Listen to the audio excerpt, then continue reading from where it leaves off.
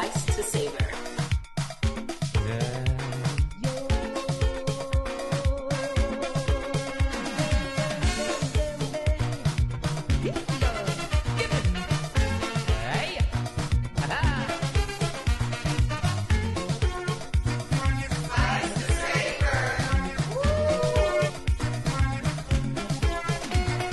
Uh, who's going to be showing people how to chop that meat, and Holly is going to show you